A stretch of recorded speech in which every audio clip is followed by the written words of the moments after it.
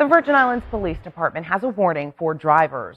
Drive sober or get pulled over. They're taking part in the Impaired Driving National Enforcement Mobilization effort called Drive Sober or Get Pulled Over Enforcement Campaign. It's been in effect across the nation running from August 17th until September 5th through the Labor Day weekend.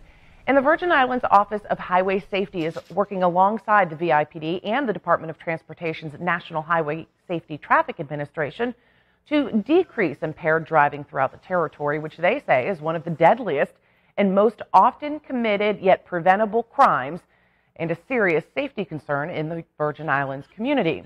VI Police Commissioner Ray Martinez says, quote, our priority is to keep people safe, so we are asking everyone to party with a plan. If they know they will be out drinking, our community members need to commit to com- keeping our roads free of drunk drivers so that everyone can have a safe, fun-filled end of summer and enjoy Labor Day weekend. He added, remember, drive sober or get pulled over.